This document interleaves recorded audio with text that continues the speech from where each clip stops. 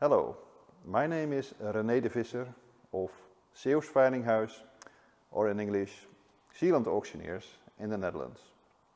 We are specialized in Indonesian paintings. In this video I will show you a few items of our next auction of the 17th of November 2020. We are proud to have this painting by Romualdo Locatelli in our auction. Southeast Asian paintings by him are very rare and this is the only one known to exist that he made during his trip from Italy to Indonesia. He made it in the port of Malacca near Singapore and that's written here beside the signature. And what we see here is um, a larger boat and a small boat, a so-called sampan. And he painted that from his viewpoint on the ocean liner where he stayed on. It was the ocean liner Victoria.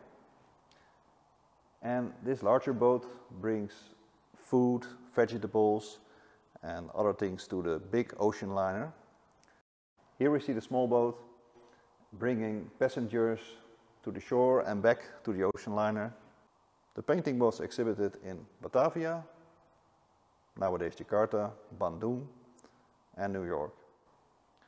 And to the gallery owner in New York, he wrote that this was one of his best paintings. This masterpiece by Bonnet was made in 1928, in his first Italian period.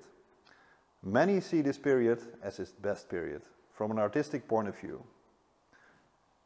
It's a large portrait of a Tunisian man, has excellent colors, and is in my opinion really one of the best Bonnets I've ever seen. If this was an Indonesian subject, a hammer price of 200,000 or more would not surprise me. Another highlight is this portrait of a Balinese dancer by Willem Gerard Hofker. It's probably the daughter of the well-known artist Lempad, and he made it in 1943 Another masterpiece is this painting by Roland Strasser. He made it in the 1920s on Bali and after that he kept it for the rest of his life, nearly the rest of his life, because it was one of his favorite paintings. Again, we have a painting of a Balinese dancer by Willem Dooyewaard. This one has striking similarities with the one that we've sold in 2013. It's the same girl with the same clothes, the same ornaments. And that one was sold for 220,000 hammer price. So if you missed that one, here's another chance.